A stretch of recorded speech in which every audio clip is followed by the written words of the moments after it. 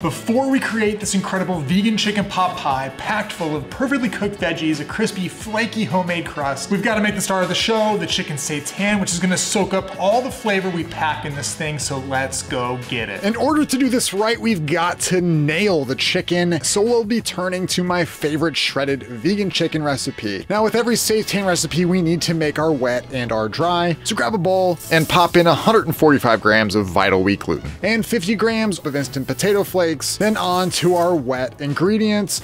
Remember y'all, it is really important to weigh out your wet ingredients when you're making seitan. With that said, let's go ahead and make it. Measure out 145 grams of veggie stock and then add a half teaspoon of salt, half teaspoon of MSG, one teaspoon poultry seasoning, two teaspoons onion powder, one teaspoon garlic powder, two tablespoons vinegar, and whisk, whisk, whisk that on up. Pour in the wet to the dry and let's get to work. I can feel the dough tightening up as I'm combining, so I've gotta act quick. If you've made seitan before, you're gonna think this is too dry, but it's not. So let's roll this out to lengthen and form it into a log about 8 to 10 inches long, and stretch this out as much as we can without it tearing.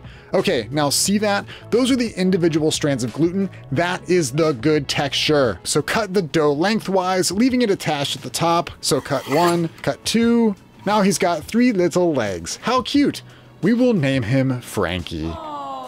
Now we've got to braid Frankie to eke out even better texture. This will give it a better bite and chew at the end. So take a strand, crisscross one under the other. You can stretch out the strands to gain length so you can get more braids too. When you run out of slack, you can tuck the end into the other knot. Now let's give it one more stretch. Now once it looks like a long, healthy brown, uh, Wrap Frank it with some foil. I like to use heavy duty foil. Ha ha ha. And then let's do a Tootsie Roll here. It doesn't need to be crazy tight, but we want to make sure it stays compact. Pinch and roll the ends, then we're ready to pressure cook. By the way, if you want to make this without a pressure cooker, see the video link in the description. That has a full video dedicated to this specific recipe and different ways you can make it. Now grab your Instant Pot insert, put in the steamer basket. Is that what we're calling this thing? And then about a cup of water. Make sure the water is below the insert and not touching the wrapped chicken. And then to the pot. Make sure the steam release is closed and then pressure cook this on high for one and a half hours. Now while that cooks, we're on to the pie dough. Seriously, this is so easy. Comes together in five minutes once you got your mise on. Grab your food processor and pour in 275 grams of all-purpose flour, 115 grams of frozen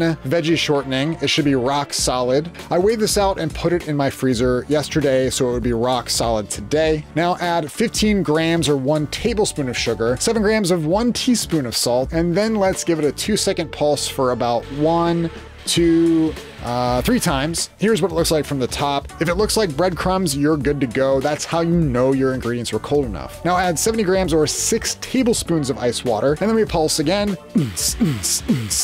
for let's see, two to four seconds each time, maybe 20 seconds total. Don't worry, this will actually make a dough, I swear, and now off to the mat. Bam! Well, that didn't look that cool. Now pour out your mix. What we're gonna do here is compress it, not knead it. So sop up those extra pieces and then wrap it in some plastic wrap press it down again here. Now pop that in the fridge for about an hour while we make the filling. Now we're essentially gonna make the gravy that is tight and stewy in consistency. So add a fourth cup of vegan butter, let that melt. Oh my God, it's beautiful. Love those little pops. Now fry up your onion. Now once this starts to change color like this, add your garlic, your carrots, and celery. And then once the butter is soaked up, we're gonna get fancy with some sweet vermouth. Add a half cup here and let's deglaze the pan. And once the boost smoke goes away and it has reduced quite a bit, add a fourth cup of all-purpose flour. Cook that until it is all clumped up. Then let's add some stock, about four cups. Then it's time for the chicken, which finished a little bit ago and has cooled down. We're gonna tear this whole thing up into the pan. You can see it has a really nice grain. Just get your thumbs in there and pull it apart from the center. You wanna make sure they are bite-sized. All right, I'm probably gonna speed this part up so you can see the whole thing. Fast forward. All right, now we're done with all the chicken and assembling. Slap about a tablespoon of fresh thyme in there, stir that in. Let's add some more stock while we're at it. This is looking a little thin. I did about another half cup-ish. Now this is really really where you get to be the master of your own domain. If you prefer a soupy final product, add more. If you want it on the tighter side, like me, keep it like this. Add a half cup of frozen peas, taste for seasoning, and look how nice this is. The chicken is already soaking up some of that flavor. Let's set this aside and roll out our pie crust and bake this baby. Bam! Finally, there we go. Grab your rested dough from the fridge, flour your surface, unwrap, and we are ready to roll. Ha ha. I finally got a rolling pin after years of using random bottles around the house. There's no fancy technique here, just roll it in different directions here to get the best circle you can. If it sticks or tears, just patch it back up. And if you get stuck, use a scraper to loosen the bottom. My pan was about 13 inches measuring from a lip to lip of the pan, so we'll do about 14 so we have a little extra slack to crimp the side. Now roll this up on the pan and let's put this puppy on. All right, this is already thickened up quite a bit. Look at that. You can add more water here if you like. And now we roll this on. Uh, a little tear there. We'll patch that up in a bit here, smooth this out, and then tear off excess dough. Then you can use that to patch up after you make the bake. You won't notice, I promise about that. Just press your fork on the sides to get that classic homemade pie look. It looks rustic, but I prefer that. Cut a sizable X. You don't want the steam bubbling the pie crust up. Maybe about four inches long on each side, and then poke holes around the circumference. Now to get a nice golden brown look, we're going to apply some vegan egg wash. So mix two parts unsweetened soy milk and one part maple syrup.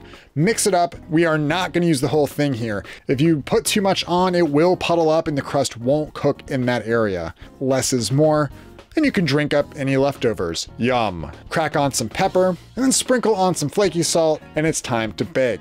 Put on the middle rack at 400F, 205C for 30 minutes. Remember, we're just cooking the crust. The filling is already done. So once it looks good to you, we're donezo. Let it rest for about 10 minutes so your friends and family don't burn their mouths, because trust me, they will. Cut in, loosen up the crust, and serve. Let's give this a taste.